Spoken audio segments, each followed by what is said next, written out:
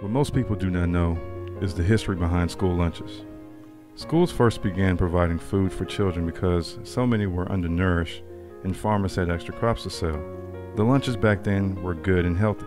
They promoted all food groups Salisbury steak, broccoli, milk, and a cookie.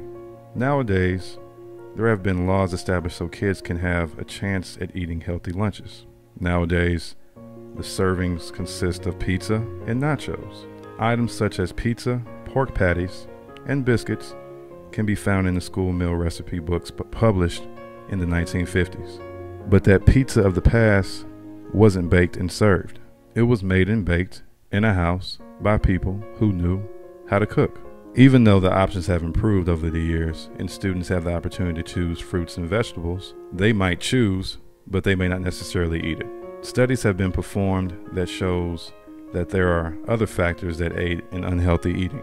The noise level, supervision, how many kids were in the cafeteria that day, the length of the lunch period, and the way the food is packaged all determine how much a child ate off their plate. It is bad enough that many of the schools have stopped extracurricular activities. Although activities are done in junior high and high school, the unhealthy eating structure starts at the lower levels. Activities are also not guaranteed for unprivileged schools. For those that are on government assistance and are forced to eat the school's food have to deal with this issue.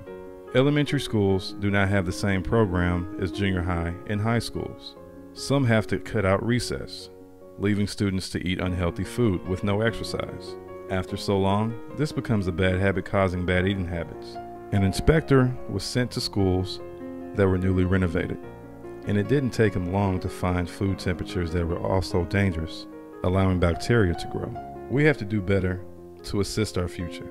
A nutritional diet in schools in the United States could greatly help lower the health problems seen in Americans due to unhealthy eating. Obesity is a huge issue in the United States.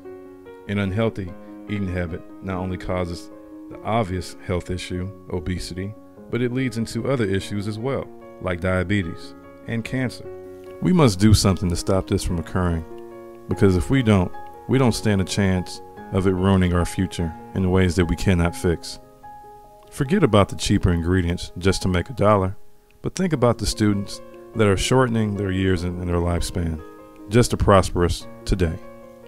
It takes away from our children and our children's children living healthy lives long enough to enjoy the fruit of the labor from our ancestors.